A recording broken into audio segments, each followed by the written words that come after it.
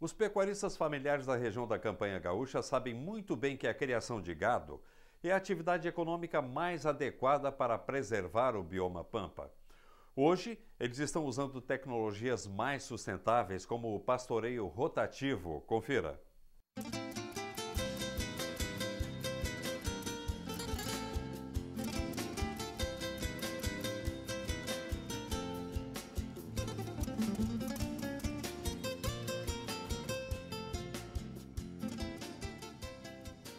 No projeto RS Biodiversidade, dentro do bioma Pampa, cada produtor preserva as características do lugar. Aqui, na Serra do Caverá, município de Alegrete, o produtor fez a divisão em potreiros em cima de uma área frágil, arenosa, com pedras, mas com resultados significativos. Nesta região, os produtores se enquadram dentro das características do pecuarista familiar. Trabalham com a pecuária de corte extensiva, num sistema de cria e recria.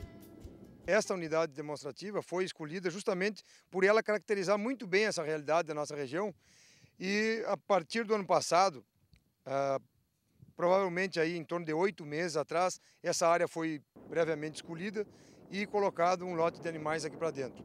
Em novembro foi feita a subdivisão de áreas e hoje nós estamos aí né, com o sistema montado, funcionando, os animais girando dentro do sistema. São 10 hectares, onde nós temos 10 piquetes de 1 hectare cada um, em média, alguns maiores, outros menores, onde o produtor de a cada três dias vem aqui e faz o, o rodízio dos animais dentro desta área.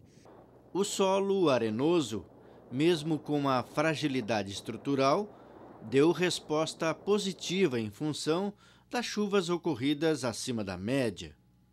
Nós vemos um crescimento de pasto muito interessante e o produtor já, já começa a visualizar a vantagem de trabalhar num sistema de rodízio, uh, onde através do pastoreio rotativo ele permite com que o, o, a forragem descanse a cada 30 dias e isso aí cria uma, um, dá um vigor para a planta que de forma extensiva, onde não há esse controle da desfolha, o produtor não tem como visualizar isso aí. Embora ah, o pasto esteja brotando naturalmente, mesmo no sistema de, de, de pastoreio eh, contínuo, no momento em que ele faz essa, essa limitação das áreas, ele tem condições de visualizar melhor isso aí, e isto permite com que ele passe a ter um domínio maior sobre o sistema, sobre a maneira como os animais vão fazendo a desfolha.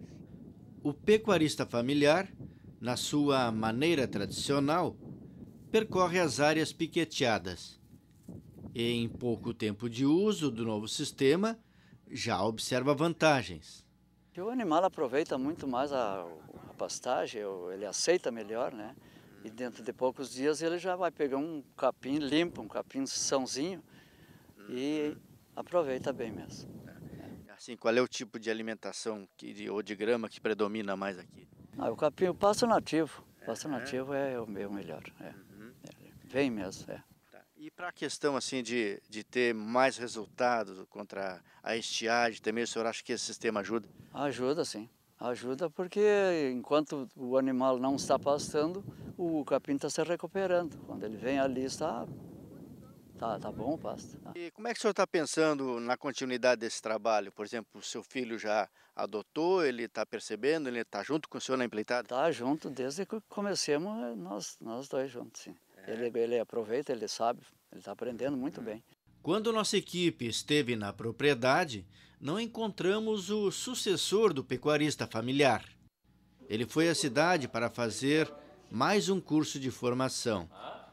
Flávio está sempre se aperfeiçoando para aplicar os conhecimentos na sua propriedade.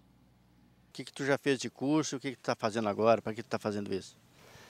Foi os cerca elétrica, desmame precoce, essa da, da motosserra também, que eu nem sabia que tinha que ter esse curso, porque muitas vezes nós lá fora contratamos alguém para trabalhar com motosserra, né? Sem saber disso que, que teria que ter um curso para estar tá trabalhando lá. Porque aí, no caso, você machuca, quem tem que. Responsável somos nós, né? Por lá. Tu Eu acho que um produtor, para poder tocar hoje a atividade, tem que, tá, tem que ter informação, tem que estar tá capacitado. Sim, tem que estar. Tá. Se tendo oportunidade, como nós temos tendo, pelo, pela Emater, pela, pela secretaria aqui, uhum. tem nos dado um, uma boa ajuda. E na sua ideia, qual é a intenção dele? É continuar aqui. É. Eu acho que, que nem eu, porque a gente já já estou com uma certa idade, já os tempos tem que passar para outros, né? Uhum. Esses novos tem que tem que abraçar, porque senão depois não tem, né?